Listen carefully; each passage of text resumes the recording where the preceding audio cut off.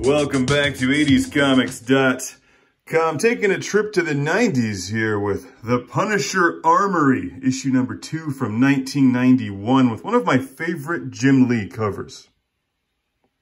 The Punisher looks pretty badass right there.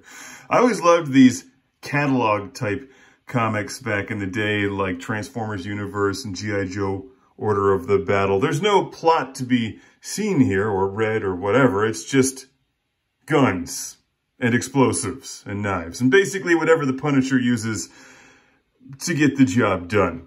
32 explosive pages of bone-blasting weaponry narrated by the quintessential killing machine, who isn't Robocop. It's the Punisher. The Punisher Armory. I'm not sure if I have issue number one, though. I didn't see it. It's uh, I love how they advertise. It has no advertisements. I always like the ads. It's a shame.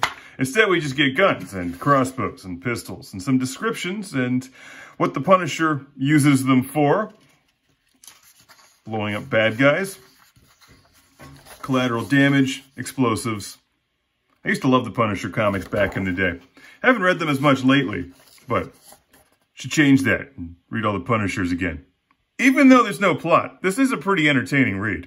Ever gotten a gift you really didn't want?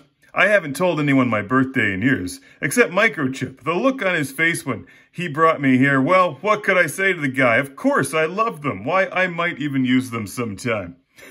These things are official hard-to-get SWAT-issue armored security vehicles called Dragoons. Chippy says he found them at the bottom of a lake or two, just so long as they didn't follow him home I know he can erase his trails pretty well when they're on paper or in a computer, but these guys, AV Technology out of Michigan, might get angry when they can't find their 14-ton battle wagon in the shallow end. That looks fun. And hey, look, he's got a bunch of machine guns in a trash can. And at about 270 bucks a piece, they are indeed cheaper by the barrel. Let's Turn the page here. There we go. What's most exciting about this, this page is not the shotgun, or the coffee machine. But the biscuits. I would have never pegged the Punisher as a biscuit guy, but there they are. The Punisher Armory doesn't lie. What's this thing? There's like drones before drones. Hey, that looks fun.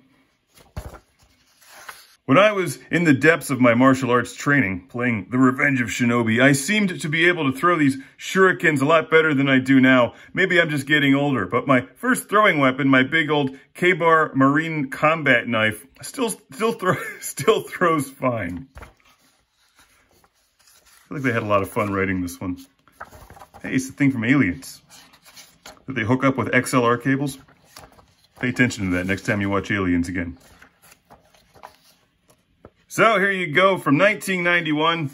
If this looks fun, it is because it's The Punisher Armory, like the comic book version of those G.I. Joe weapon sets. I know a lot of you know what I'm talking about. When you lost all of Snake Eyes Uzis and Rock and Roll's M60, you could buy a weapon set in the same blister pack. You'd get the, uh, the figures in, except it was just nothing but guns and knives, and it was great. And so is this. It's the Punisher Armory, number two Recommended on 80scomics.com.